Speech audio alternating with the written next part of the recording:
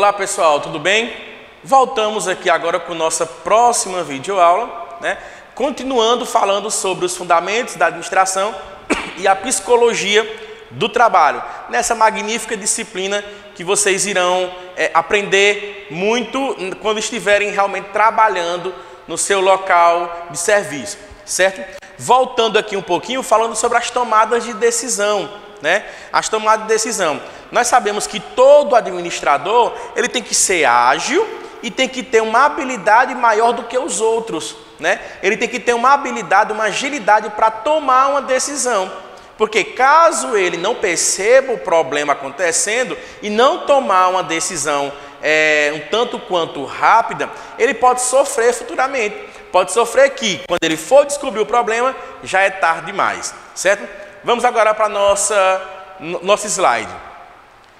Podemos sistematizar o processo de tomada de decisão da seguinte maneira: identificação, acompanhe bem essa questão, como é a sequência. Identificação do problema, certo? Eu vou identificar o problema, a definição dos critérios de decisão. Quais são os outros? Atribuição de pesos aos critérios, investigação de alternativas de solução verificação das alternativas e seleção de uma das alternativas. Perceba que é um passo é, que, que são buro, é, passos burocráticos. Só que quando eu, vou, quando eu estiver agindo, quando eu estiver é, colocando em prática, não se torna tão burocrático e nem tão demorado assim. Por quê? Os passos para que possa chegar à definição, à conclusão exata da tomada de decisão, é sequencial certo? Eu tenho que identificar o problema, tenho que procurar alternativas para ele, porque se eu não fizer isso, eu posso tomar alguma decisão errada, eu posso agir ou pela razão ou pela emoção, certo? Então, se eu agir pela emoção, eu posso estar prejudicando A e beneficiando B. E esse não é o objetivo da tomada de decisão de um administrador, de um gestor, certo? Os tipos de problemas. Os problemas podem ser de diversos tipos. Tipos são ditos estruturados, aqueles usuais, relativamente simples e fáceis de decidir. Então você descobriu um problema, veja se ele é estruturado ou não. Se ele for estruturado, ótimo, por quê? É, não é tão óbvio não que é um problema, né? Mas comparação ao outro é ótimo. Por quê? Vai ser fácil de eu resolver aquele problema, porque eu designei como um problema estruturado, certo?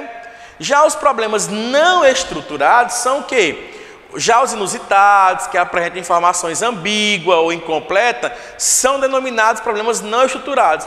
Então pode acontecer um dos dois tipos de problemas na minha empresa aquele problema estruturado que eu consigo resolver de imediato o problema, e aquele problema não estruturado, onde o A diz uma versão, o B diz outra versão, você não tem uma versão definida, e aí você vai é, a passos procurando é, é, provas, procurando é, ouvir cada funcionário para que possa realmente chegar a uma conclusão exata. Então, evite é, acontecer um problema não estruturado na sua empresa.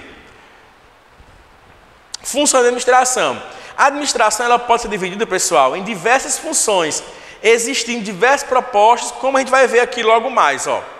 As funções são planejar, não existe a execução de nenhum projeto sem haver o planejamento. Não existe. Não existe.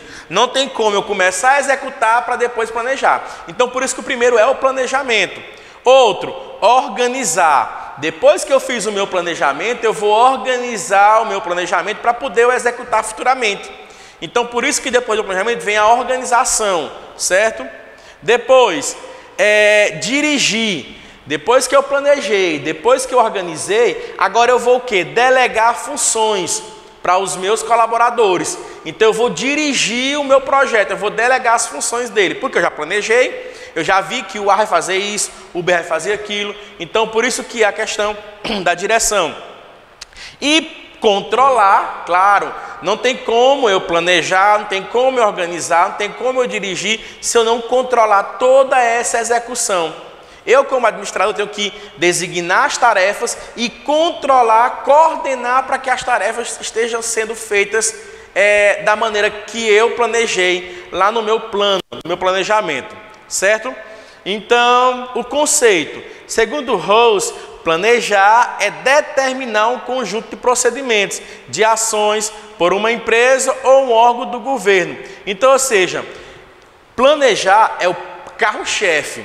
Se eu quero montar uma empresa, se eu quero montar um empreendimento, se eu quero criar uma empresa voltada para a segurança do trabalho, né? Se eu quero criar, eu tenho que primeiro fazer o planejamento, no papel mesmo, riscando, né? Fazendo o planejamento, aí é que depois é que eu vou para as próximas tarefas. Mas o pontapé inicial é o planejamento. Por que, que algumas empresas em nosso Brasil elas têm data de início e também data de término? Ela abre e fecha rapidamente. Porque não houve um planejamento adequado. Não houve um planejamento essencial, certo? Então por isso que acontece isso. Assim, em primeiro lugar, temos que ter objetivos, metas a alcançar o planejamento terá a função de mapa para alcançarmos os objetivos definidos. Lá no planejamento eu vou traçar os objetivos e metas que eu quero com aquele planejamento. E aí, todo ele detalhado, eu vou ter uma execução melhor, certo? Mesmo com as limitações, é melhor termos algum planejamento que nenhum. E quanto mais detalhado, melhor. Então, ou seja, nós sabemos que alguns empreendedores, alguns gestores, melhor dizendo, eles não gostam tanto daquela parte burocrática do planejamento. Só que com o planejamento pode acontecer de dar algum erro. Imagine sem planejamento. É erro na certa. É erro na certa. Então, fazendo o planejamento de uma tarefa, eu vou ter, vou correr menos risco do meu, da, da, da minha tarefa dar errado, do meu objetivo dar errado certo? Então, nós vemos aqui, é, fica mais fácil identificarmos onde se situam os problemas, quais seus possíveis efeitos e quais pontos a corrigir. Então, por exemplo, no próprio planejamento, se for acontecer algum problema, já vai estar descrito no planejamento a solução daquele problema. E aí, eu já tendo a solução, eu vou antecipar os fatos, eu vou evitar que realmente aquele problema aconteça certo? Então, encerramos aqui a nossa, nossa videoaula falando um pouquinho sobre as funções da administração e as tomadas de decisões também.